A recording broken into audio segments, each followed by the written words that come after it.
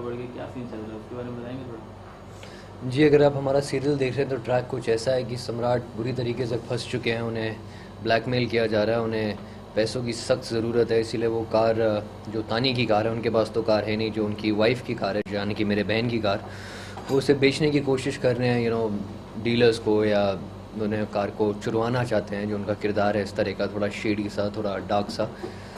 तो बस उर्मी उनकी नाक में दम करके रखा है कि नो सब पहले से ही जो उनके प्लान्स होते हैं घर वालों को बता देती है क्योंकि उन पर नज़र रख रही है उनकी जासूसी कर रही है।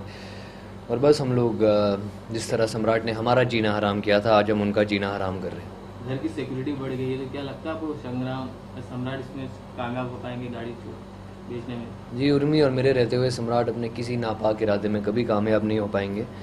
हम तो बस उन्हें खुजली कर रहे हैं, उनसे मज़े ले रहे हैं, क्योंकि हम तो जानते हैं ये सब उनका किया धरा है, उन्होंने हमारे साथ जो कुछ भी किया।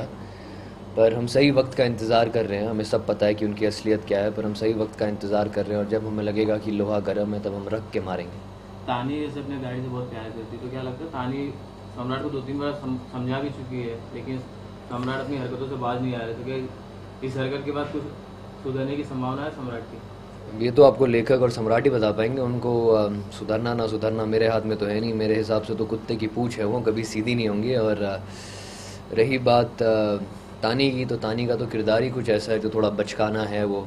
सम्राट से भी प्यार करती है तो फिर गाड़ी से भी प्यार करती ही होगी तो ये तो उनके ऊपर है नहीं गाड़ी लेंगे उनके लिए क्या दिक्कत है? अच्छा आगे क्या ट्विस्ट है? शो में आगे लीप होने वाला है।